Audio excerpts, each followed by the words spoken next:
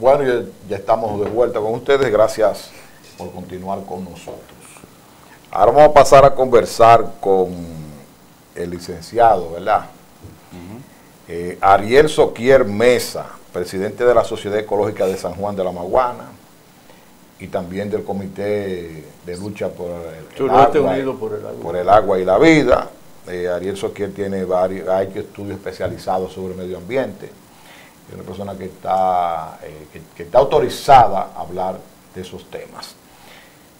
Y vamos a conversar con él durante un rato ahora sobre temas ambientales y mineros y de y- y- y explotación minera y demás. Muchas gracias, Ariel, por estar con nosotros. Gracias a ustedes por invitarme a este prestigioso espacio, que sin lugar a duda es el, el toque de queda de las mañanas de todo, de todo este sur. Para mí un honor estar aquí con ustedes conversando. Muchas gracias. Así es. Bienvenido, bienvenido, Ezequiel. Bueno, Ezequiel, ¿quiénes, ¿quiénes conforman la, la entidad que tú vienes a representar en el día de hoy? Bueno, nosotros venimos a representar la Sociedad Ecológica de la provincia y el Suroeste Unido por el Agua. La Sociedad Ecológica es un colectivo de profesionales y sociedad civil que luchan específicamente, cuyo objetivo es promover las prácticas sostenibles y el cuidado del medio ambiente de la provincia. Y la Sociedad Ecológica está incorporada a la Sociedad Ecológica Dominicana. Y de manera específica, el Comité Suroeste Unido por el Agua, todos saben que es este gran colectivo que incluye más de 50 organizaciones que estamos luchando en contra de la explotación minera que se pretende acá en el Valle de San Juan. Soquiel, una de las cosas que a mí me llama la atención de esta lucha en contra de la explotación, ¿verdad?, de la mina de Romero es, ¿por qué es que ustedes se oponen a que se haga un estudio que determine realmente que es negativa la explotación de esa mina o que o que diga que es positivo. O sea, ¿cuál es el problema que ustedes se oponen a que se hagan los estudios? Porque ahí es donde está ahora mismo una discusión plantada. ¿eh?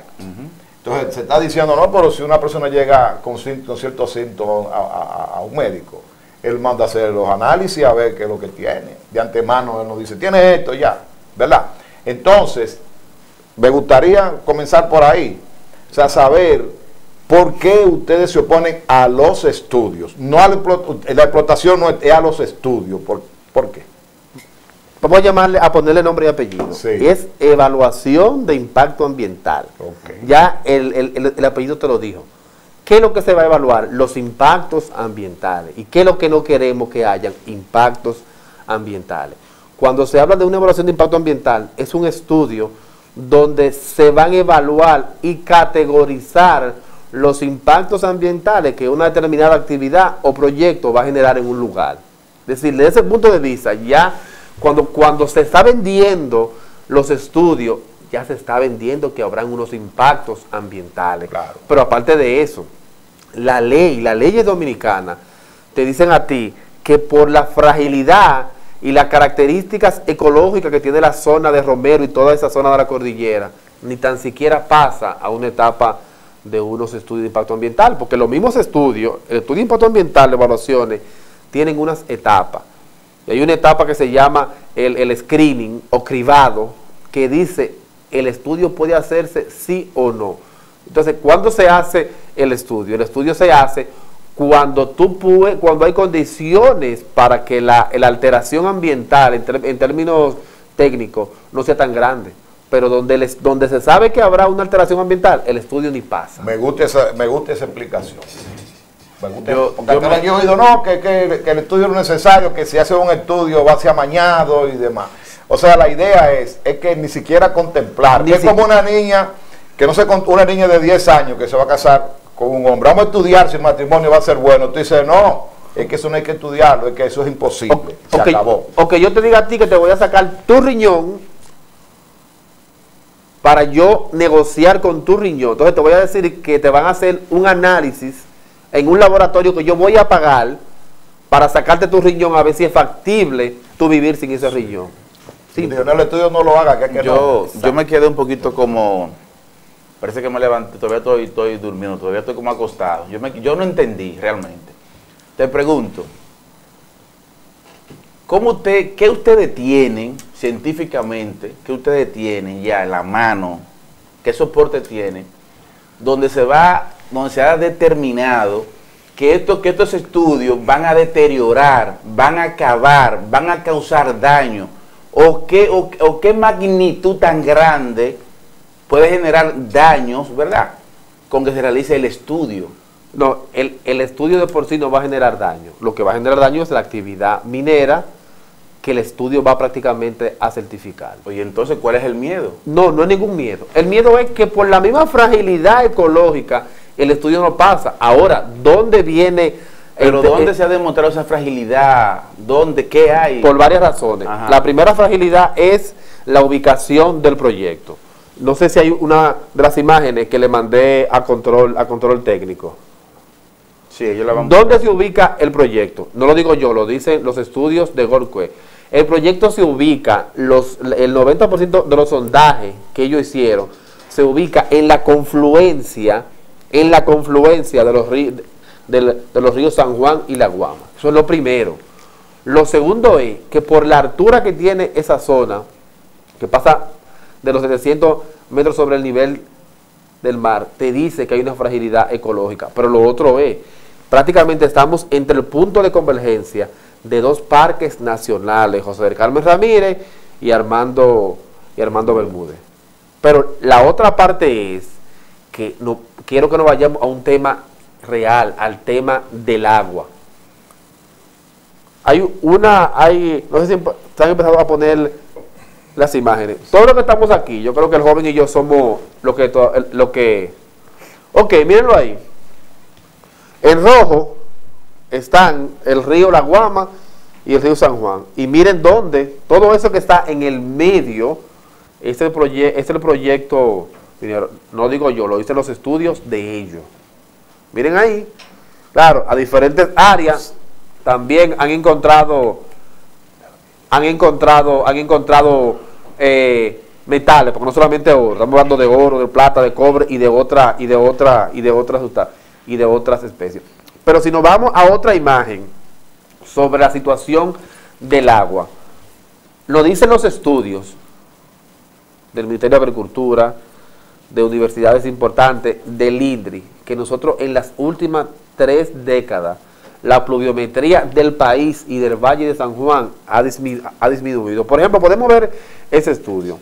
Desde 1930, miren allá, pero, no, pero vámonos a los 70, 60, nos caían dos, más de 2 mil milímetros de lluvia al año. Ahora, acá en la década de 2000, 2010, 2020, nos están cayendo menos de mil milímetros de lluvia al año. Y eso se empeora en la región suroeste, donde ahora mismo en la cordillera al año no están cayendo 900 milímetros de lluvia al año. Simple, el agua se ha disminuido. Pero si nos vamos a otro punto, la NOAA la Administración Oceánica y Atmosférica y la IONAME están proyectando que por los efectos del cambio climático en la región suroeste la pluviometría va a disminuir un 20% y lo estamos viendo. Teníamos los picos más altos en mayo y en octubre. ¿Cuántos días dura mayo lloviendo ahora aquí en San Juan? Hay casos llueve 7, 8 días en mayo. Igualmente en octubre, que era Entonces, donde se mantenían... no esa, hay agua. con esa explicación brillante que tú das, entonces es evidente, es evidente que ustedes pueden aceptarse en el estudio porque van a salir negativos. O sea, va, el estudio va a determinar, va a decir que no procede o que no, o que no es factible que se haga entonces, que aquí se, se haga, se explote esa mina. Porque como yo estoy explicando, ese estudio va, por ejemplo, ¿por qué no se, por qué no se llevó a cabo Lo- Loma Miranda? Tú tienes conocimiento. Sí, ¿Por qué no? porque, los estudios dijeron que no era factible que se llevara a cabo el proyecto. Entonces, así mismo, como tú estás explicando eh, brillantemente eh, eh, esta parte, entonces el estudio va a decir allí, no procede que se mina. ¿Qué ocurre en Loma Miranda? En Loma Miranda ocurren varios factores. El primero es el tipo de sociedad empoderada que tenemos aquí, que no es la misma que tenemos en San Juan. Lo segundo, fueron estudios avalados por la P- PNUD. Sí. Lo tercero, los estudios se calibran.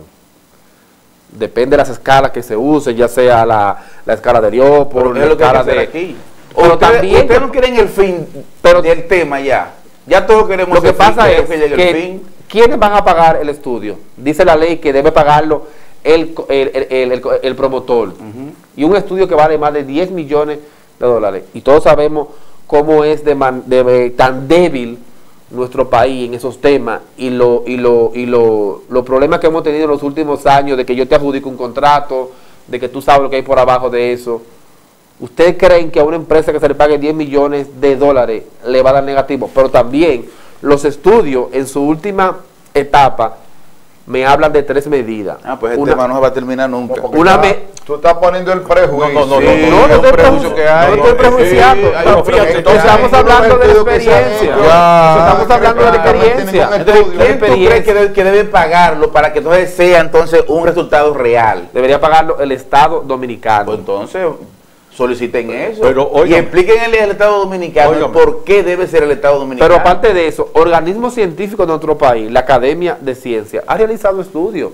Y la Academia de Ciencia logró el descenso de una de las altas cortes de nuestro país. Y la Academia de Ciencia es, es el organismo científico de cada país. yo conozco la, la sentencia, yo la conozco la sentencia y la sentencia ordena que se haga el estudio. La sentencia no Hasta- obliga. hasta no lo obliga. el- no, no, Hasta no, lo ordena, obliga. La sentencia que dice que el proceso va a seguir, al- va a seguir. Usted es abogado. Si mismo. hay, si se hace el estudio, pero la sentencia no manda de manera obligatoria hacer el estudio. Dice, para continuar, Lo condicio- ah, pero lo condiciona. Lo condiciona, exactamente. No lo manda. Pero- pero ¿qué pasa? Pero es que aún, aún, si la dice para continuar hasta que se haga el estudio, entonces, ¿qué lo- ¿cómo, ¿cómo te interpretan eso? que la sentencia me dice a mí que como único se puede continuar el proceso, Con el ya, estudio. pero no me manda a hacer el estudio directamente. Pero aún así, la sentencia... No, porque fue, es un amparo. eso no- eso no es sí, la sentencia decisión. te habla de, de- de un principio de precautoriedad en uno de sus... Exacto. Sí, que dice que lo ideal sería convertir esa zona en una zona de protección para la producción de agua por la misma fragilidad. Es decir, la misma sentencia te dice, bueno, si van a continuar, háganme el estudio, pero, dice que lo ideal sería que la zona tenga un principio de precautoriedad. Pero también, ¿qué- ¿qué es lo que pasa? Desde el punto de vista legal, tenemos la Constitución Dominicana, artículo 15 que dice que el agua es un bien, un patrimonio, un recurso estratégico, inalienable, inembargable. Y también, pero también te habla la ley de medio ambiente. ¿Qué te dice la ley en su artículo 86? Que no pueden construirse ningún tipo de instalaciones donde hayan afluentes. Pero la misma ley de minería, en su artículo 30, te dice que no podrá instalarse. Ahora, ¿a qué es lo que está apelando los promotores del proyecto? Están apelando a que el presidente de la República prácticamente viole las leyes, porque dice que como único puede hacer si hay un mandato presidencial. A eso es lo que están apelando. Pero yo lo que digo, está bien, muy bien, el agua, yo sé lo que es el agua. El agua, como dice una frase vieja, el agua es vida. Pero ¿dónde se ha demostrado que con esa explotación minera el agua se... Por ejemplo, el agua está contaminada, el agua de, de la presa, de Río San Juan. ¿Y quién fue que- que la contaminó? Porque aquí no hay minas. Sí, pero hay que Entonces, ver, ¿cómo está contaminada Hay- si no, hay minas? hay que ver el tipo Entonces, de- ¿cómo el agua ha disminuido? hay que ver el tipo de contaminación. Según lo que tú explicas, que es brillante, cómo el agua ha disminuido aquí en, en esta parte, si aquí tampoco no hay mina. Entonces no ha sido por culpa de, de la mina. Entonces aquí, aquí, eh, no, hay- aquí no hay ninguna mina. Excelente. El agua ha disminuido por varias razones. La primera razón, no nos está lloviendo ya. Cambio climático. Eso, tenemos, por ejemplo, tenemos algunas partes de la zona, la tenemos con un poquito de deforestación, que lo que hace es que no permite la absorción del agua, sino que hace que la evaporación. Entonces, si le sumamos a esta disminución del agua, que una empresa ahora nos va a usar el agua, yo no hablo de contaminación, que la habrá, o sea, contaminación química, pero si, si le sumamos ahora que una empresa ahora nos va a usar el agua que tenemos disponible allá arriba, la empresa me habla, no lo digo yo, lo dicen los estudios de ellos, el estudio de ellos, más de 800 páginas, lo dice que van a instalar una máquina, una planta que va a mover por hora 150 metros cúbicos de agua por hora. Pero es que, es que ayer estuvo aquí el, una de las Por ejemplo, personas José Ogando. que le hace las relaciones públicas, el, el ingeniero José Ogando, Eh, químico, y habló de que ellos tienen pensado no tocar las aguas del río San Juan. Déjame terminar. Y que van a tener una extensión de 400, de 400 tareas de tierras permeabilizadas. Las- esas tareas van a ser una especie de laguna de 400 tareas para llenar ese reservorio de agua con el agua lluvia. Este, yo me quedé sorprendido y cuando le pregunté, pero esas aguas no van a parar a la presa, me dijo que no, que el 0.25 es lo único que, ellos podrían eh, impedir que llegara el agua a la presa y que ahí llueve de una forma tal que eso va a estar lleno de agua siempre. Bueno, a, a menos que yo haga un convenio con, con- con Dios y le mande más agua. Nosotros tenemos en la cordillera, donde más nos llueve, tenemos 90 días de agua. 90 días de agua. Es decir, prácticamente tres meses de agua solamente. Entonces, a menos que yo haga un convenio con Dios y cuando ellos empiecen a operar le llueva más a ellos, bueno, pues bendito. Pero no hay forma. Porque que en la cordillera, primero, donde más está lloviendo es allá y nos está cayendo 750 milímetros de lluvia, 90 días de agua. Mira, esta conversación es muy interesante, y más por, por un tema que se ha debatido tanto y se habla tanto, pero es que yo, no sé si es porque soy abogado, pero es que yo, yo me quedo siempre como en el aire. Yo no, he no me ha podido nadie aterrizar, ni siquiera los que quieren explotar la mina, ni los que están en contra de, de la mina. Porque es que, ¿cómo, cómo, o sea, cómo, cómo me hablan a mí, cómo me hablan a mí de todos esos resultados cuando aquí la mina no está funcionando? O sea, ¿dónde está ese, esos estudios, ese razonamiento, esa, esa, qué sé yo, ese científico, no sé, que ya sabe lo que va a ocurrir en San Juan de la Maguana Pero- si pero- la mina no está funcionando? Pero el mismo estudio es, que- es como es que- es- que es está como el estudio menos, es que no pero se ha hecho. es como que yo Eddie, te es que está lloviendo menos en, en- en pero el es país. como es como No es- solamente es como en yo te diga a ti que tú ¿Y tienes tu cómo casa determina que si la mina que- se explota va a llover mucho? Aquí lo Eh, que no se quiere. yo no entiendo. Aquí lo que hay ¿Que es. ¿Cómo es se como- explica el no. Es Que como si- que que que la es como que Que yo va a llover aún menos. va a caer la primero- misma sí, cantidad pero- de agua, Ajá. pero es que poca. ok, de va a llo- 2000 se va va a a llover- menos de 1000 en va a 20 llover menos. Estudios de la NOAA, de la NOAA, o, eh, agen- eh, Agencia Administración Oceánica y Atmosférica, dice, lo puede buscar, y de la ONAME, estudios científicos, dice que a partir del 2025 va a disminuir la pluviometría. Si, si no crees en esos estudios, ¿en cuáles vamos a creer? Por el cambio Y climático. claro, pues, y es como que yo te diga a ti, que en tu casa tú tienes disponible tres botellones de, ¿Y de qué agua. tiene que ver la mina con esto? ¿Cómo? que, la mina, que la mina me dice a mí que va a usar más del 80% del agua que tiene disponible el río. Ya, Ya, lo dice todo. la mina, lo dice la mina. es como que yo te diga a ti que tú tienes disponible en tu casa tres botellones de agua. Entonces ahora nosotros nos vamos a, eh, Casandro, Vicky, el joven y yo y Angel, nos vamos a vivir para tu casa ahora. ¿Qué va a pasar con el agua Eso yo casa? lo entiendo perfectamente. Ya, eso Y diciendo. Entonces, entonces, para que se acabe el tema, entonces, vamos a hacer el estudio que va a salir a relucir todo lo que ustedes, están explicando. No, pero es que ya el estudio Y está acabó el- no, no, no, no, no, no, el del impacto. Es que ya- entonces eso es lo que no queremos, no queremos impacto. Entonces no queremos impacto. No, no, no. No queremos impacto. Pero, ¿y qué es este impacto? Co- Dígame. ¿Qué es el impacto? El impacto, ambi- el impacto es la alteración de la calidad ambiental. de toda esa zona. de toda todo, esa de zona. todo, de ¿Cómo todo, se va a de alterar? de. De la siguiente manera. Mire, en una, en una de las fotos del estudio que hizo GolQuest, dice que van a construir unas, unas galerías de 9000 metros cúbicos. ¿Sabe qué significa eso? Más de- eso? Eso es como que van a construir debajo de la tierra unos 120 edificios como los Caunabo Tower. Eso es lo que dice. Una pregunta. ¿A dónde, va, ¿A dónde van a llevar esa arena que saquen? ¿Se la van a llevar para. Canadá? ¿Sabe a dónde va a ir esa arena?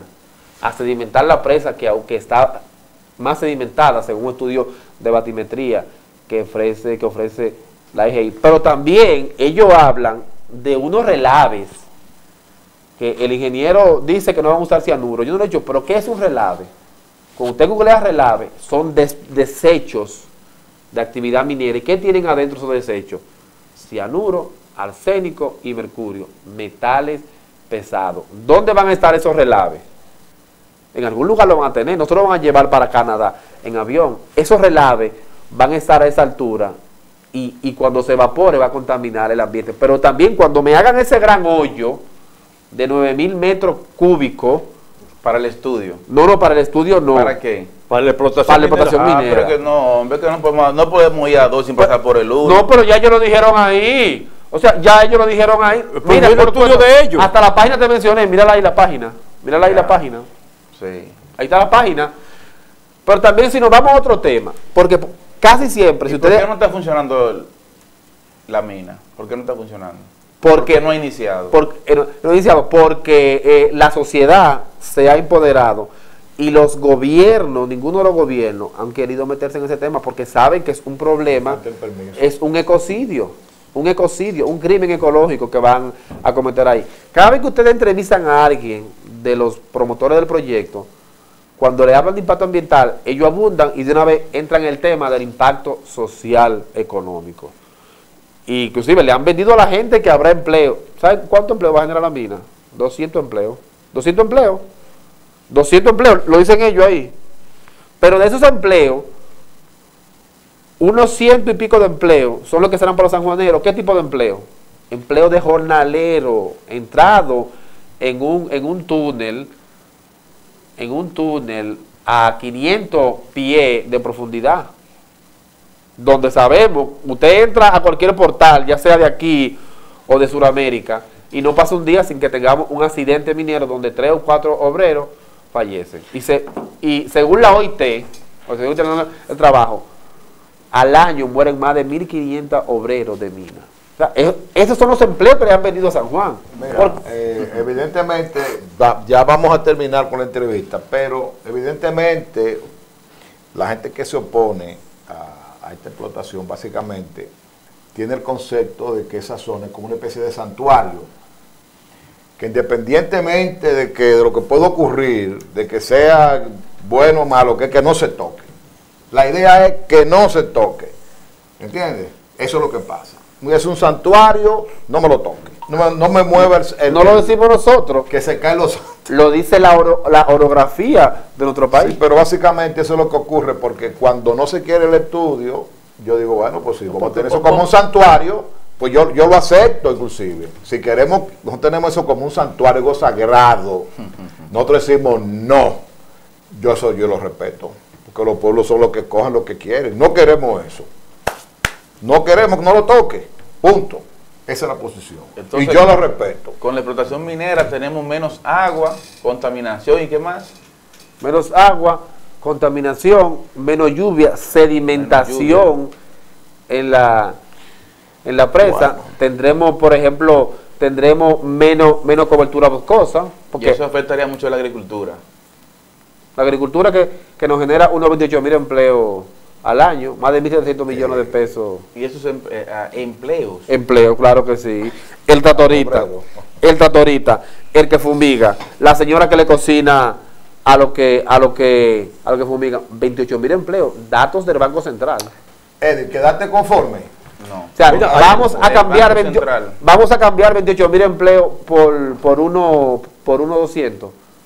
Vamos a, vamos a, cambiar, a, a cambiar 1.700 millones de pesos que genera la agricultura por Yo unos trans- 86 que nos va a dejar la minería. Dominicanos. No, pero... Dominicanos. La agricultura va a desaparecer, Mira, pero la agricultura no va a desaparecer. mire, eso empleo de que- dominicanos. Mire, no, Pero imagínate que sean nacionales haitianos. Oye, porque yo no he dicho eso. No, no, no, porque yo sé que por ahí, por ahí Ah, va, por ahí va la escritura. Una parte, ¿dónde gastan los haitianos gran parte de lo que comen? Lo gastan, lo gastan aquí. Ah, con los guardias. Se lo quitan los guardias y después vuelven y se lo dan los guardias de nuevo. Bueno, los guardias son dominicanos, Ay, gastan. Ya, no, ya- yo- ya el tiempo se acabó. no, pero este. excelente, excelente, El Ariel. tiempo se acabó. Este, Pero tú no vas a convencido. No, no, no, Tú eres No, partidario es que- del estudio. No, no, no, Si- de ninguno. si de él tiene su postura a a favor, mí, no a, va- mí, es que a mí hay que convencerme con datos científicos, porque es que esto es ciencia. Pero te estoy dando científico. Un estudio. es que esto es ciencia. Entonces se habla de minas, de cosas de agua, de te di datos energía, de clima. científicos. Eso es que eso Las es opiniones Te di- datos que vale es- científicos. No, opiniones no valen. Te di datos científicos. Si me Dat- ponen- si datos me- de la NOAA. Si me ponen a mí, a mí de juez, a mí Mira. que traerme documentación, So- so que, mira, levantamiento el, tiempo se acabó y ahora es que el tema está bueno. Hay que volver a traer a Ariel para acá. Pero dentro de poco tiempo, para agarrarlo ahí mismo. Sí, sí, porque para- hay que desglosar el asunto este del estudio Claro. Para edificar mejor a la población. Yo por eso he querido cogerlo por el lado de que Ellos- eso es un santuario que no queremos que lo toquen. No, es que No, es que, no, es que va en contra de la La ley negocio. Yo lo Eso es acepto. lo primero. eh, O sea, desde el, punto, acepto. desde el punto de vista Mira, jurídico, mira, desde el punto de vista jurídico, el proyecto va en contra de la ley dominicana, la constitución, que según la jerarquía que utilizan los abogados, de la constitución, ley de minería, ley de medio ambiente, va en contra de eso. Eso, eso es lo primero, si lo vemos desde el punto de vista legal, Legal, sí. abogado. Bueno, Ya, ya, ah, pero antes, antes de terminar hay que puntualizar algo que casi nunca se trata. Y es que la situación del país es que gobiernos dieron más de 20 permisos de exploración, creo que es como se llama, en la cordillera En la central, cordillera central. donde nacen todos los ríos que van para el norte y que van para el sur. De Padre la Casa a Dajabón. Entonces pasa lo siguiente con esto. Con una sola minera que se introduzca en la cordillera central, van a tener que obligatoriamente quedar todo lo otro a las otras 20 que están. La Gold es la punta de lanza que tiene la minería internacional para meterse a explotar el oro que existe en la cordillera central de República ¿no? Dominicana. Y la misma Gorquest, Vicky. Y vuelvo, y vuelvo, y 75 vuelvo, y vuelvo y repito lo, lo que, lo que le, le dije al, al ingeniero Ogando que estuvo aquí con nosotros.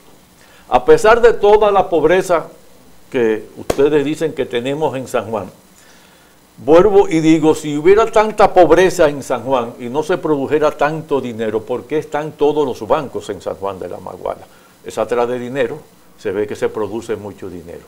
Y la alimentación de este país y las exportaciones que hace el país en rubros, en rubros agrícolas dependen de tres provincias del país.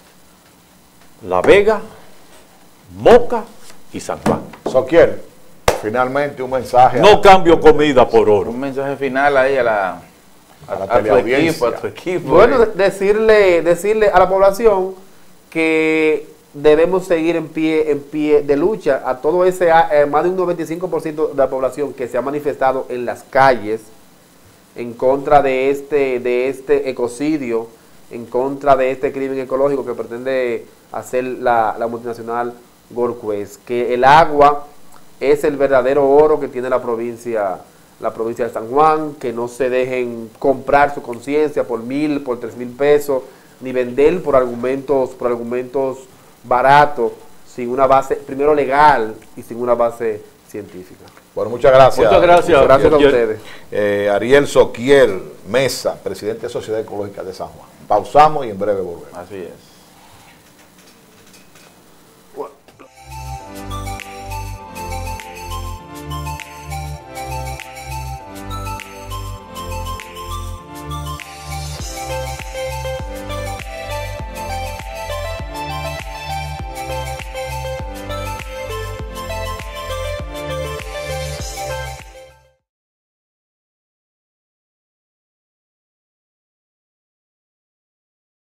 En Óptica Oviedo, los martes son gratis. Sí, todos los